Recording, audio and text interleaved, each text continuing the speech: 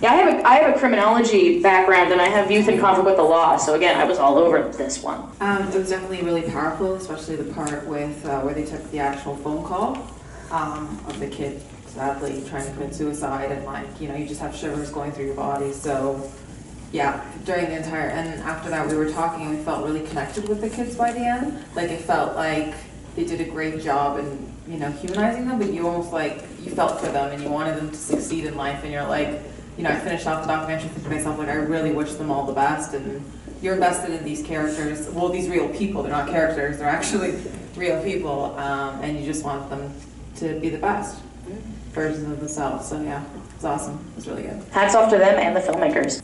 These aren't bad people. They're people who did a bad thing that are trying to do the right thing.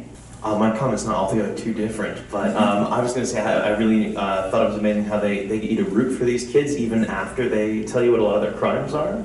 Uh, so like they, you know, rather than villainize them for what they've done, they, they still like put you on their side and uh, kind of leave you with a little bit of hope at the end where they give you that 50-50 statistic. Like there's a good chance that at least some of these guys are going to go on to do the things they say they want to do, which I thought was really nice. And uh, it's also just like staggering. Like uh, it was really interesting for me. I had no idea that a program like this existed. I had no idea that you could be in prison but be out fighting fires and like how invested a lot of them get in the work was really interesting, and it sort of instills a lot of good habits, I think, at a, a crucial time to be doing that for kids. So I don't know, I really, really enjoyed it.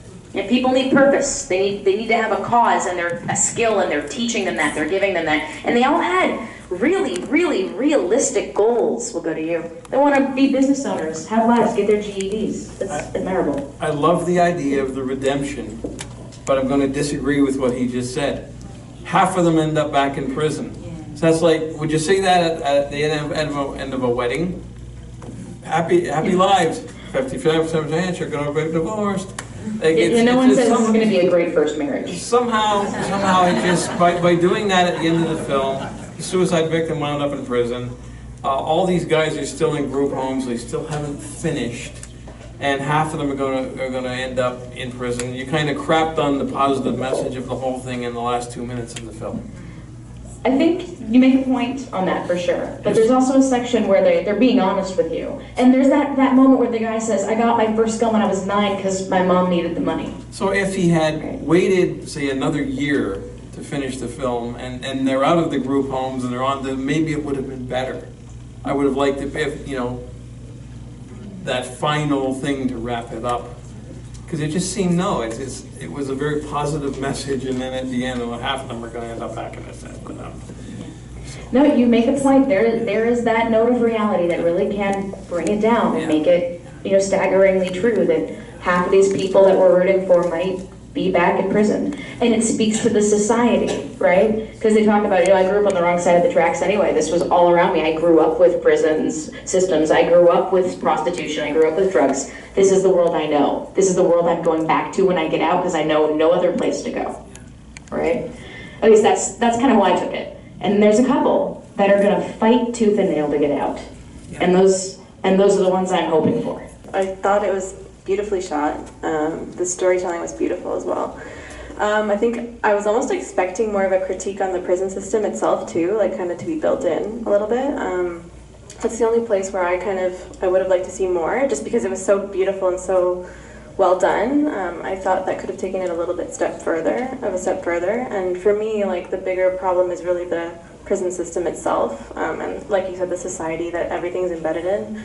Um, so for me, like I would have just liked to explore more of that and critique the prison landscape and why are they like as much as it is a good program, um, the whole idea of prison labor um, being such a big problem in the states wasn't really addressed at all. So that was interesting. Yeah, there's this one tiny moment where he's like, "I'm making a dollar a day." Versus twelve dollars an hour, right? And that's very jarring when you're like, oh my god, and you're you're just trying to make ends meet, just trying to pay rent.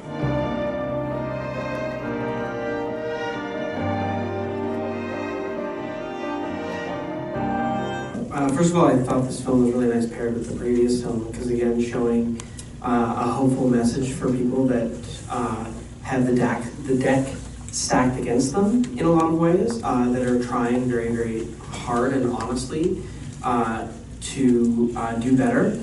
Um, and I think in this film, you know, we see that they they fail a few times, um, and the the film uh, does a really good job of being honest with them, and I think it's really important that the number of that uh, that is fifty percent will reoffend because ironically, I think it's actually better than uh, the. It's still slightly better than if they weren't in such a program, um, but. Um, in, in any case, the film was really beautifully shot. I think the message was really, really honest and tracking them over time.